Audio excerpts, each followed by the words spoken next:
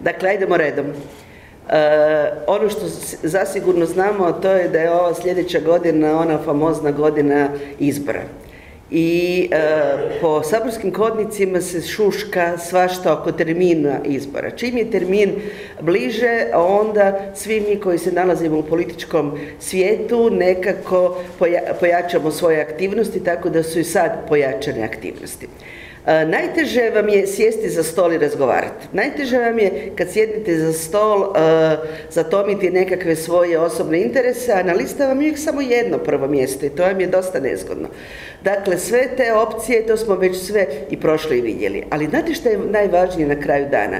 Da odradimo dobar posao i da HDZ maknemo s vlasti. To je najvažnije. I tu se trebaju okupljati ljudi po nekakvim opcijama i varijantama. Ako imamo pet različitih grupacija, isključivo govorimo o centru lijevo, to neće biti dobro.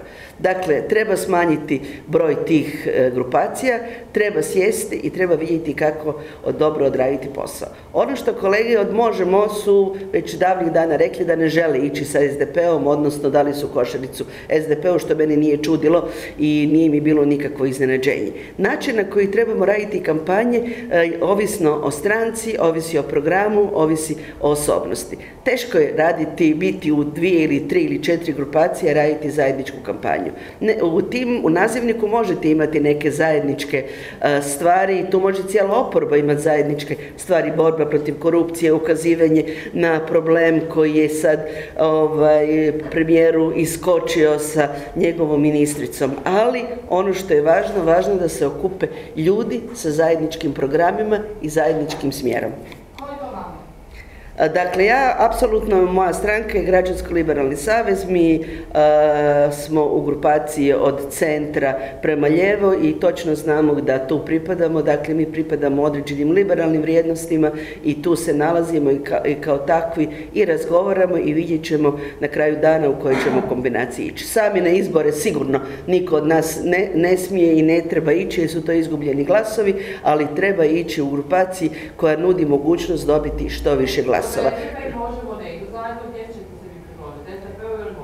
Dakle, nema tu prikloniti SDP-u ili možemo. Dakle, tu postoji e, još jedna grupacija stranke koje pripadaju liberalnim vrijednostima. E, mi ćemo, mi ćemo tu odraditi pregovore i ono što je važno. Važno je da, dakle, vi, ono što hoću reći, niko svoje glasove koje je dobio na nekim prethodnim izborima nije zamrznuo u dubokom, sad ćemo iz dubokog izvaditi van, odmrznut i nekom dati.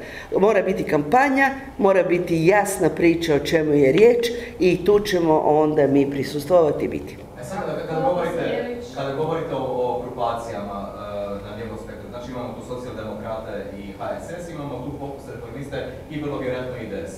Ovo je tu interesantno. Dakle, nama je, nama je kao glasu je interesantan i SDP, ali nama kao glasu je interesantna i grupacija gdje se nalazi IDS i PGS, s njima smo već bili zajedno.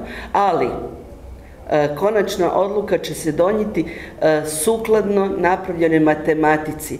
Matematika je tu ja, apsolutno jasna. Da ne zaboravimo da postoji stranka Centar, dakle ja sam u klubu sa gospođom Marijanom Puljak e, i tu je stranka Centar, oni još uvijek ne izjašnjavaju se u kojem smjeru idu, ali apsolutno sam u jedno sigurna. Apsolutno je krivo ako ćemo imati SDP kao jednu grupaciju, Možemo kao drugu grupaciju, socijaldemokrate HSS kao treću grupaciju, Centar kao četvrtu grupaciju, IDS, PGS, Fokus, Reformisti kao petu grupaciju.